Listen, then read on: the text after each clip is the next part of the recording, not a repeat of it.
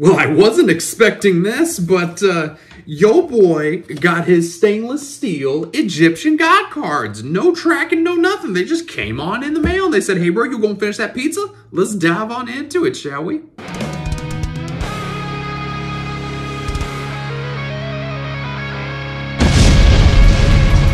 Hello, ladies and gentlemen. It is your host with the very expensive wallet of the most, Avery LR32 here, and destroy the ever-living 25th anniversary boo-boo stain of that like and subscribe button as we climb even higher the 1400 ladder. Are we the first on YouTube to get this? I haven't seen anyone else talk about this, and literally just like 10 minutes ago, I got this big old box that was, it said TCG order or whatever it said, and um, lo and behold, the God cards are in here. So it was actually wrapped up really nicely. I, I clearly couldn't film an unboxing because I didn't know I was getting the thing. Um, but to show you how it comes, this is like a little, uh, I don't know, plastic box piece, but you slide this off, you get a very nice, uh, it says uh, trading card game stainless steel Egyptian God cards on the front. They do put some uh, cellophane wrap in here. You're not going to see it in here because I already took it out.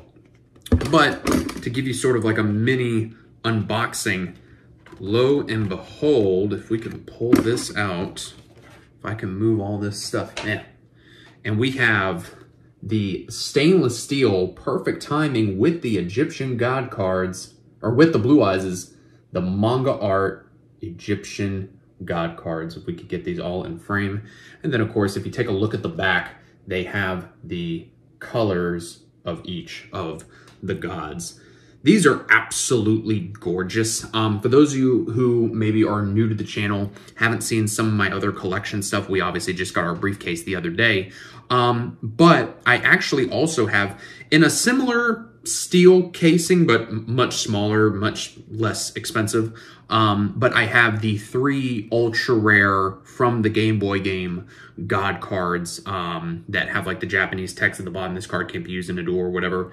Um, but it's not the secret rare versions. It's the ultra rare versions, which they're still expensive. They're like 50 bucks a piece. And I remember my parents bought it for me when I was a kid for like 150.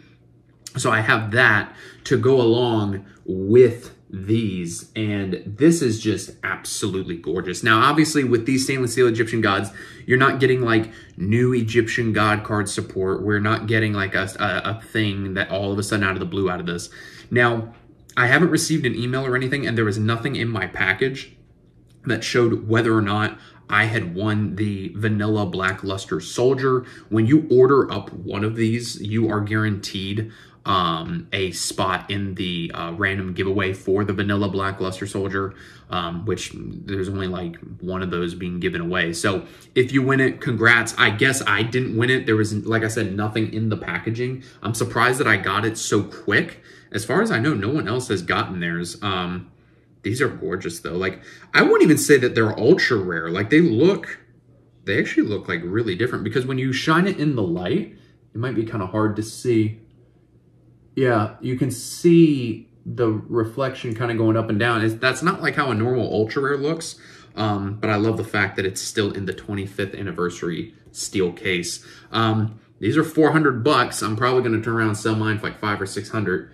Uh, this is absolutely gorgeous. Definitely a collector's piece. Um, I think the blue eyes are definitely going to sell quicker than these. Because, I mean, these aren't playable, right? Like, it's literally just the manga art from the original Duel Monsters. That's making me nervous. I'm gonna hold it like this.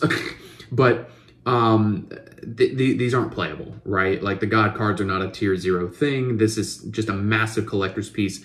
I had to get it with the other God cards that I have um i mean I, I couldn't pass up on this especially i think they knew that like this wasn't going to be a hot piece unless they threw something else in with it. Hey you have a chance to get a vanilla blackluster soldier. That is legal for play which is quite interesting. Um but I, I guess i didn't win it. I'm not seeing anything here about it. But guys i don't want to waste too much of your time. I just wanted to show these off real fast. Hey we got it. It looks absolutely gorgeous. And um, yeah, we're going to go put it up in the collection. So guys, let me know what you think. Have you gotten yours yet? Is this the first on YouTube? Guys, thanks for watching. I'll see you in the next video.